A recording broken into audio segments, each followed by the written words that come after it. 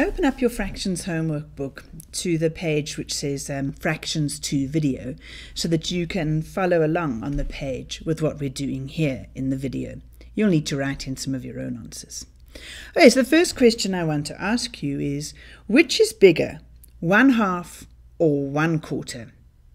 Pause the video and make your decision. Okay, I wonder what you decided. I can tell you what a lot of people say. A lot of people end up saying that one quarter is bigger because they have a look at the four and they say four is bigger, so one quarter is bigger. What's the problem with that? Well, let's go back to remembering what one half and one quarter mean.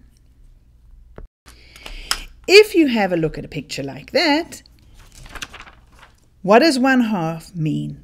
It means I must take my fizzer and I must cut it into two pieces and I am going to take just one out of the two pieces.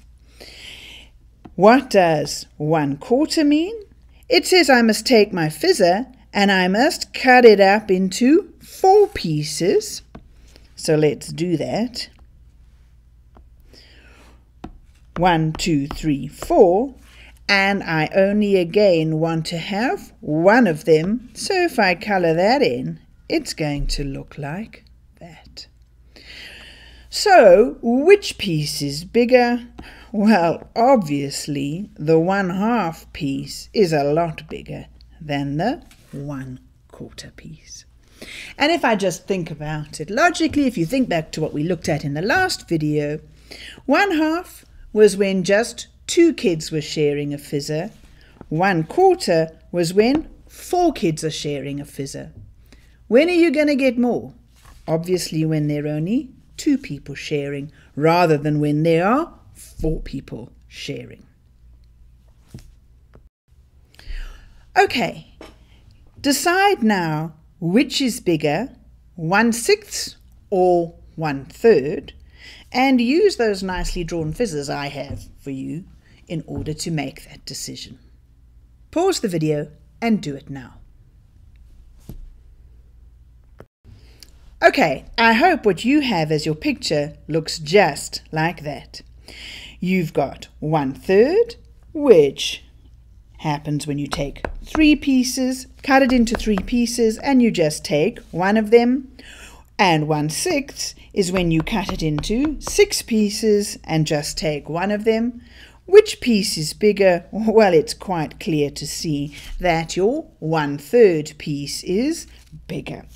And again, that makes sense. If you're just sharing your fizzer with, if it's just three people sharing the fizzer, it's obviously going to get a bigger chunk than if it's six people sharing the fizzer. Okay, Again, have a look and decide which is bigger, 2 sixths or 2 thirds. Pause the video and decide. Well, hopefully you immediately said, well, look, we've just looked at the fact that one third is bigger than one sixth. So obviously, if I have two thirds, which are just two of the thirds, it'll be bigger than two of the sixths. But we can draw a picture as well. So if we want to know what 2 sixths looks like, we take the fizzer, we cut it into six pieces, and in this case, we take two of those six pieces. What does 2 thirds look like? Well, we cut it into three pieces, but this time we take two of those three pieces. Which is bigger? The picture tells us very obviously that your two thirds is bigger. Let's just have a look at the last question quickly. Five sixths or two thirds? Which of those do you think is going to be bigger? Pause the video and decide. Hopefully by now you came up very easily with the following picture.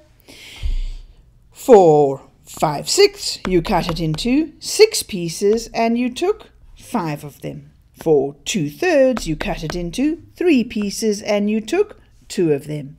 You can immediately then see that your five sixths is a much bigger chunk than your two thirds. So the answer to this question is that five sixths is bigger.